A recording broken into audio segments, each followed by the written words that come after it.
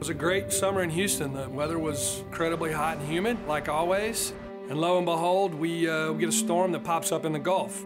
Looks like the storm is going to go south of here. But then Harvey started drifting north, and it just sat there. Hurricane Harvey will be the first or second most costly natural disaster in our nation's history. It was absolutely historic, and it was catastrophic. When you're dealing with an emergency, communication is everything. The ability to let folks know what's going on, where's the water rising, where can you find help. That's absolutely essential to managing a crisis.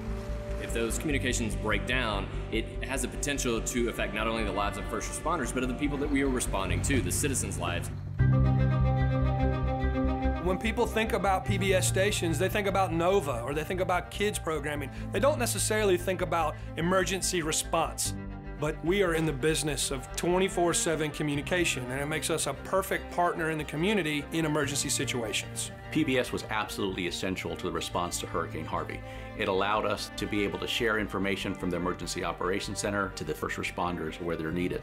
We typically utilize LTE, cellular communications, to push a lot of data up and pull a lot of data down. When that starts to falter or completely fails, I need that next iteration of data communication, and that PBS antenna provides that to us. It's called WARN, PBS WARN. Uh, and it really fills the gaps for primary responder communication. But also, if you get an alert on your phone, that's a wireless emergency alert. We've worked with the FCC and FEMA to make sure that system never goes down. I think PBS is uniquely suited to public safety across the country because they have those relationships with the communities they serve. There was a lot of loss and a lot of pain, but I think that there is a sense of community more so than there was before the hurricane. We are the voice of the community, and there are hundreds of stations around the country, each playing that same role. It's really part of our mission to make sure communities across the country are safer.